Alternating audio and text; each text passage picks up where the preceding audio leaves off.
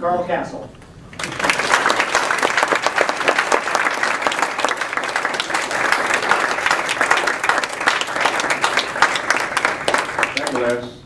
Carl Kasell is a veteran radio personality with more than 50 years of experience.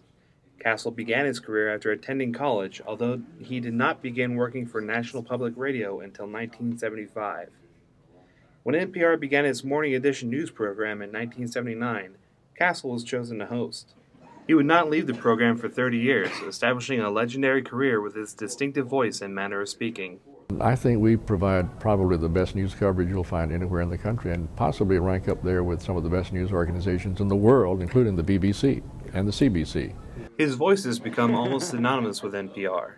The weekly NPR trivia show Wait, Wait, Don't Tell Me offers Kasell's voice on your answer machine as a prize. Kasell has retired from reading the morning news, but continues to be the judge and scorekeeper for Wait, Wait, which he has done since the show began. A wide range of people showed up for Mr. Kasell's WSU appearance. Students, professionals, and fans of local NPR station KMUW all came to see the man behind the voice.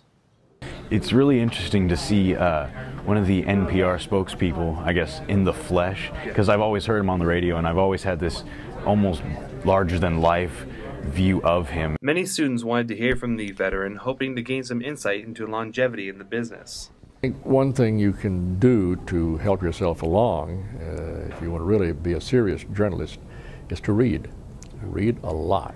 And you know, reading not only educates you, but it helps your writing too. I, I firmly believe that you're a better writer if you're a better reader. Kasell spoke at Century 2 that night, but those who made it to his WSU appearance felt they got to see something extra special. It was good attendance, but should have been more people, more people to see uh, excellence in broadcasting. I especially felt privileged not only to meet Mr. Kasell, but to get to interview him. Reporting for Studio B, this is Koby Russell.